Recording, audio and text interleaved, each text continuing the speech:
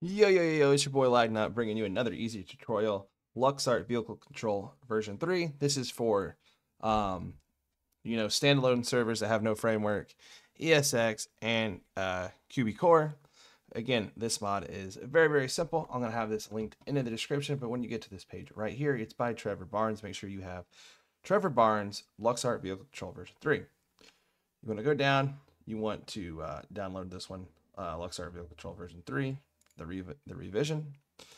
Basically, you're going to open that. We're going to minimize this. Also, you need WinRAR. WinRAR. So I like to have everything uh, filtered by its own directory here. So this is my server. Um, so I'm going to name this Lux, obviously in brackets. I'm going to click here. Um, I'm going to go to dependencies first. I'm going to drag and drop Rage UI. Again, this is so simple, it's not even funny. Um, people make this, people make a lot of this stuff harder than really it was. If you just pay attention to the tutorials, read the readmes, be able to do it. Trust me, I was that one that could never do anything until I finally, you know, learned myself. So basically then what you want to do is you want to go, you know, you got your LVC. This is your main cream of the crop right here. So basically drag and drop so while that's uh, uploading to your server, just click there.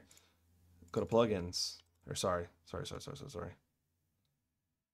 Go to plugins right there. Again, don't click in the LVC. Go to plugins. So basically, when this is done downloading into my server, we're to open up LVC. Just give it a couple seconds there. All right, so uh, LVC, click the plugins, literally highlight all these, drag and drop. That's simple, y'all. Literally, it's another drag and drop. It's so crazy how so simple some of this stuff is. Now, basically, now don't do not make the mistake that I have made several times. Do not forget to set your uh, ID, your server ID in LVC. So basically, back here, go to settings right here, settings.lua, community ID. This is your server name. My server name is new heights. Wow. New heights. Role play. Make sure you save that. All right. X out of here. And literally that's it. And then you want to go back, go back, go to your server CFG. And obviously you want to start it or you want to uh, ensure it, ensure in brackets, lux, save it. And then I'm gonna go into FiveM and then I'm gonna show you um, what uh, Lux Vehicle Control version 3 looks like. All right, so we're now in game. Uh, we just installed LuxArt uh, Vehicle Control uh, version 3. So basically, once you get into your vehicle, like, so you see that LuxArt control goes away. So once you enter your vehicle, you'll have this.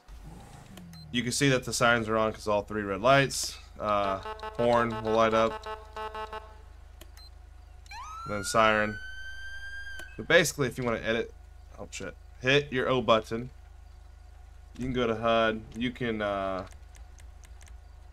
make this smaller. You can go into move mode. I usually set mine right about there. It depends like what kind of uh, like if you own your own server or whatever server you're in, you might have to move that like over here or wherever you want it. But uh, yeah, you can do that. And then you got audio settings, uh, whatever you want to hear.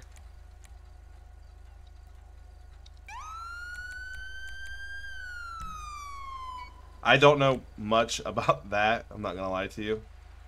So, uh, You can, uh, your tone well, yell. You can literally customize it as much as you want. I don't know in depth about that. I'm just here to show you the install. Bring up the button, or bring up the menu is O when you get into the server. Um, but siren park kill toggles whether your sirens turn off automatically when you exit the vehicle. I always use that because if you're on a police run and I hate the people who leave the sirens on. But yeah, guys, that's how you install it. Um, you can mess with that much more to see what all the other features. Uh, please like, please comment, and don't forget to hit that subscribe button.